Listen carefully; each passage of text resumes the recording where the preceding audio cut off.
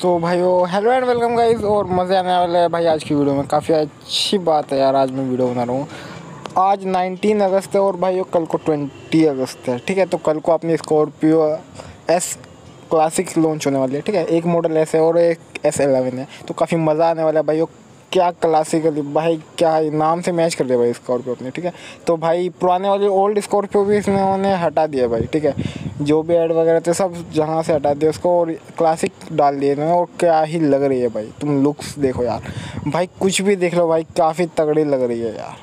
काफ़ी अच्छी बना दिया। और प्राइस भी मेरे हिसाब से लास्ट जो टॉप मॉडल होगा वो बीस से इक्कीस लाख के आसपास आ जाएगा, ठीक है?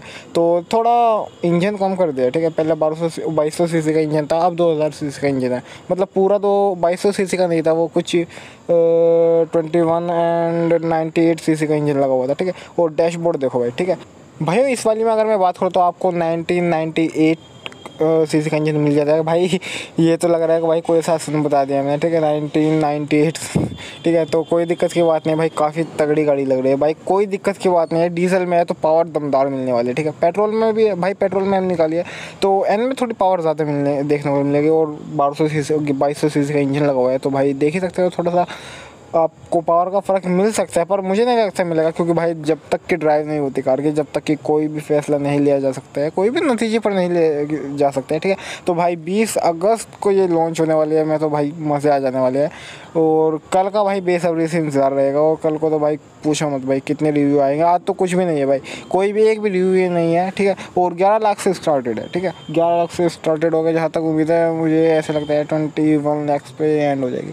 और फ़िलहाल इसके बारे में भाई क्या ही बात करें भाई, पूरी क्लासिक कर दिया और हटा दिया आपको दिखाना चाहूँ तो भाई कहीं पर भी ओल्ड वाली स्कॉर्पियो नहीं है और ये तो अपने इलेक्ट्रिक ईवी है, ठीक है X U four double E और देखते भाई, मैंने अच्छी तरह से सर्च नहीं किया, एक बार देख लेते हैं। भाई देखो, कहीं भी आपको स्कॉर्पियो नहीं मिलेगी पुराने वाली है, बस सीधा क्लासिक ही डाल दिया स्कॉर्पियो एन है हाँ और शायद सबसे टॉप पर स्कॉर्पियो एन हाँ देखो भाई, सबसे टॉप पर है। और इसमें बाईस सौ का इंजन लगा हुआ है, वही अपना twenty one and ninety eight का इंजन लगा हुआ है। और तेईस लाख भाई, देख रहे हो?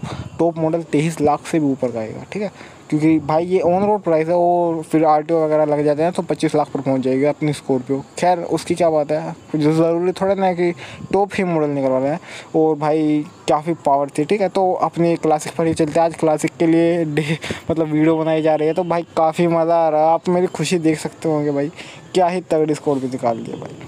एक एस है और एक एस एलेवन है। दोनों में सी जो है वो सेम रहेगी, ठीक है?